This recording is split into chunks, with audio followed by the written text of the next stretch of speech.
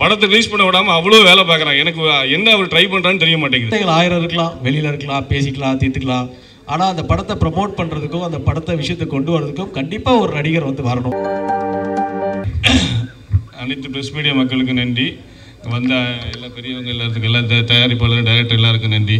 ஆக்சுவலாக இது வந்து மகத் வந்து இப்போ வர வரேன்னு சொல்லி ஏழு மணி எட்டு மணி வரை நிற்க வச்சு அவர் வந்து இப்போ கிடைச்ச ஒரு டாக்குமெண்ட் அமைச்சிருக்காரு ஒரு ப்ரொடியூசருக்கு நாங்கள் வந்து பதினஞ்சு லட்ச ரூபா அக்ரிமெண்ட் போட்டு சைன் பண்ணியிருக்கோம். சார் வந்து எனக்கு இப்போ ஒரு அக்ரிமெண்ட் அமைச்சிருக்காரு நான் வந்து அவனுக்கு சைன் பண்ணணுமா? டாக்குமெண்ட் அமைச்சிருக்கேன் ஏற்கனவே அவர் வந்து ரெண்டாயிரத்தி இருபத்தொன்னில் நாங்கள் வந்து படத்தை ஸ்டார்ட் இது பண்ணி ஒரு ஷூட்டிங் ஃபைனல் கிளைமேக்ஸ் வரும்போது சார் வராது அவர் ஆறு மாதம் நம்பரை பிளாக் பண்ணிட்டார். இப்போ பார்த்தீங்கன்னா சார் ஷூட்டிங்கில் ஒரு கெஞ்சி கூத்தாடி கூப்பிட்டு வர வச்சா அவர் வந்து பதினஞ்சு லட்சம் சம்பளம் கொடுத்து போக எக்ஸ்ட்ரா கொடுத்தா வருவேன்னு சொல்லிட்டு அவர் அதுக்கு வந்து மியூசிக் டைரக்டர் எல்லாருமே எல்லாரும் வந்து வெளியே வந்து நிற்கிறாங்க சார் இப்போ வந்து எல்லாரும் அனுப்பிச்சார் மகத் சார் மகத் சார் ஐஸ்வர்யா எல்லாரும் வெளியே வந்து கிளம்பிட்டாங்க. என்னன்னா நான் ஒரு டாக்குமெண்ட்டில் சைன் பண்ணுமா?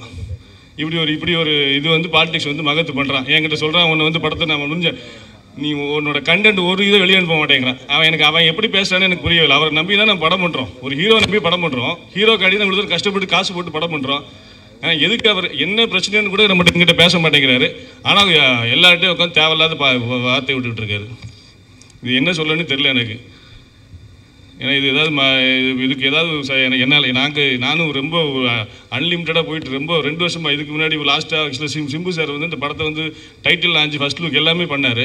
இப்போ பார்த்தீங்கன்னா சிம்பு சாரோட படத்தை நேம் யூஸ் பண்ணக்கூடாதுன்னு சொல்லி முப்பது கோடி நஷ்டேடு வள சொல்லி ஒரு டாக்குமெண்ட் கொடுத்துருக்காங்க.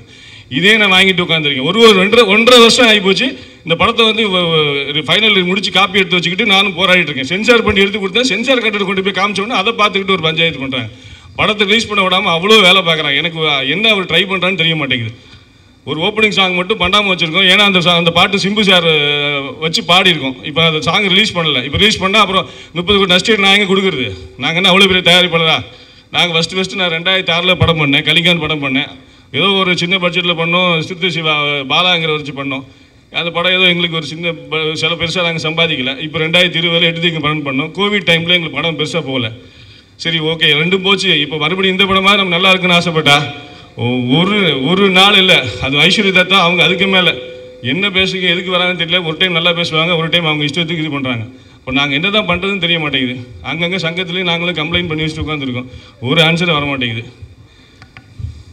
எனக்கு இதுக்கு மேலே என்ன பேசுன்னு தெரியல. பட் வந்ததுக்கெல்லாம் நன்றி. நான் ஆக்சுவலாக வந்து மகத் வந்திருந்தால் ரொம்ப நல்லா இருக்குன்னு பார்த்தேன். அதுவும் கெடுத்து எல்லாம் இது பண்ணிட்டாங்க. இப்போ இப்போ நாங்களும் கஷ்டப்பட்டு காடி லாஞ்சிக்கு இவ்வளோ செலவு பண்ணி உட்காந்து பண்ணுறோம் வராதுக்கு என்ன ஆன்சர் பண்ணு தெரில தேங்க்யூ எனக்கு இதுக்கு மேலே சொல்ல ஒன்றும் இல்லை. தேங்க்யூ எல்லாருக்கும் வணக்கம். இந்த படம் எனக்கு ஆக்சுவலி வந்து இது யார் ப்ரொடியூசர் யார் டேரக்டர் எதுவுமே தெரியாது. என்னோட தயாரிப்பாளர் சங்கம் இந்த ஃபங்க்ஷன் நடக்கும்போது அப்போ கண்டிப்பாக உதயா வரணும் திருமலர் கூப்பிட்டாப்படி அதுக்காக வந்தோம். பட் எனக்கு ரொம்ப ஹாப்பி ஏன்னா மகத்து என்னுடைய நல்ல நண்பர் தான். இந்த படம் பார்க்கும்போது அந்த ப்ரொடியூசருக்கும் டேரக்டருக்கும் முதல்ல வாழ்த்துக்கள் இந்த டீமுக்கும் வாழ்த்துக்கள். அதாவது ஒரு படம் ப்ரொடியூஸ் பண்ணுறது வந்து ரொம்ப பெருமையான விஷயம். அதாவது ஒரு அந்த ப்ரொடியூசர் எவ்வளோ ஒரு பெயினோட அந்த டேரக்டர் நீங்கள் பார்க்கும்போது எவ்வளோ எமோஷனலாக இருந்தாங்க. அப்படிப்பட்ட ஒரு சூழ்நிலையில் கண்டிப்பாக வந்து ஒரு ஹீரோ நம்ம எந்த நடிகராக இருந்தாலும் அந்த படத்துக்கு வந்து சப்போர்ட் பண்ணணும். பிரச்சனைகள் ஆயிரம் இருக்கலாம் வெளியில் இருக்கலாம் பேசிக்கலாம் தீர்த்துக்கலாம். ஆனால் அந்த படத்தை ப்ரமோட் பண்ணுறதுக்கும் அந்த படத்தை விஷயத்தை கொண்டு வரதுக்கும் கண்டிப்பாக ஒரு நடிகர் வந்து வரணும். கெட்டவன் நினைக்கிறீங்க நீங்கள் தயாரிப்பாளரை மகத் அவர் நல்லவன் தான். அதே மாதிரி நல்லவன் நினைக்கிற மக கெட்டவன் நினைக்கிற மகத்தை ஏதோ ஒரு ரீசன் இருக்கும் அவரும் நல்லவன் நீங்கள் நினச்சிக்கிங்க. உங்கள் டைட்டில் மாதிரி தான். ஸோ நல்ல டைட்டில் இது. இங்கே வந்து கெட்டவன் பேர் எடுத்த நல்லவன் எழுதி வச்சுருக்காங்க. இங்கே எல்லாருமே வந்து நல்லவனாக இருக்க முடியாது. நல்லவனாக மட்டும் இருந்துட்டால் அந்த கெட்டவன்ற ஒரு விஷயம் இல்லாமல் போயிடும். ஸோ கெட்டவன்றது அவ்வளோ பேர் கெட்டவனாக இருந்தால் தான் ரொம்ப வாழ்க்கை சுவாரஸ்யமாக இருக்கும்னு நினைக்கிறேன். ஸோ நல்லவன்றது நம்ம எல்லா இடத்துலையும் பேர் வாங்க முடியாது. அதே மாதிரி நல்ல விஷுவல்ஸ் நல்லா இருக்குது டைட்டில் நல்லா இருக்குது கண்டிப்பாக வந்து ஒரு ஆர்டிஸ்ட்டாக நான் ஃபீல் பண்ணுறது என்னென்னா ஒரு ப்ரொடியூசராக நான் ஃபீல் பண்ணுறது என்னென்னா இது மாதிரி ஒரு ஈவெண்ட்டுக்கு கண்டிப்பாக வந்து ஒரு ஆர்டிஸ்ட்டாக கோஆர்டினேஷன் பண்ணியிருக்கணுன்றது என்னோட எண்ணம். ஸோ மகத் இனிமே அடுத்த இந்த மாதிரி விஷயங்களில் படம் இந்த படத்துடைய ப்ரமோஷனுக்கு நீங்கள் வந்து எல்லோரும் வெளியில் பேசி தீர்த்துக்கிட்டு எல்லோரும் பிரச்சனையும் சால்வ் பண்ணிவிட்டு கண்டிப்பாக வரணுன்றது என்னென்னும் ஒட்டுமொத்த டீமுக்கு வாழ்த்துக்கள். குறிப்பாக கூல் சுரேஷ்க்கு என்னுடைய வாழ்த்துக்கள். கூல் சுரேஷ் வந்து நான் ரெண்டு மூணு எபிசோடு பார்த்தேன். எல்லா இடத்துலையும் ஃபஸ்ட்டு பார்த்த ஒரு இமேஜ் வந்து கூல் சுரேஷ் அது வேறு.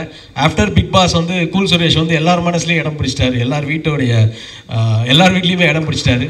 ஸோ அது எனக்கு ரொம்ப ஹாப்பியாக இருக்குது ஏன்னா ஒருத்தர் வந்து அவர் ஒரு பார்க்குறதுக்கு வந்து ரொம்ப காமெடியாக எல்லா இடத்துலையும் வேறு மாதிரிலாம் ரொம்ப அலட்டிக்கிட்டு இருந்த ஒரு இமேஜ் போய் இப்போ கூல் சுரேஷ்லாம் ஒரு செட்டிலான ஒரு ஆளுன்னு ஒரு விஷயம். கூல் சுரேஷ் வாழ்த்துக்கள் உங்களுக்கு. ஸோ ஒட்டுமொத்த டீமுக்கும் வாழ்த்துக்கள்.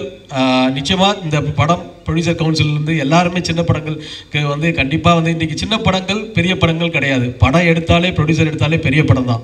சின்ன படம் பெரிய கண்டென்ட் தான் முக்கியம். கண்டென்ட் நல்லா இருந்தால் கண்டிப்பாக போகும். ஸோ வாழ்த்துக்கள் ஒட்டுமொத்த டீமுக்கு தேங்க்யூ தேங்க்யூ ஸோ மச்